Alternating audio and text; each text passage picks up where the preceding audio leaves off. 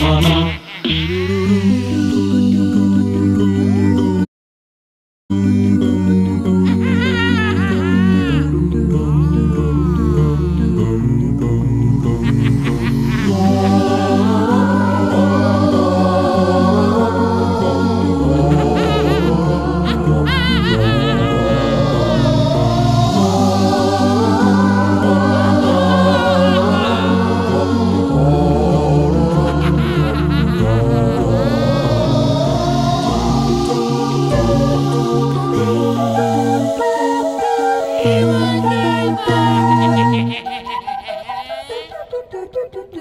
I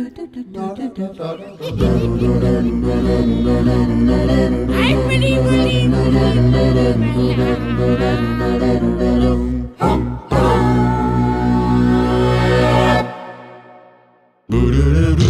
now.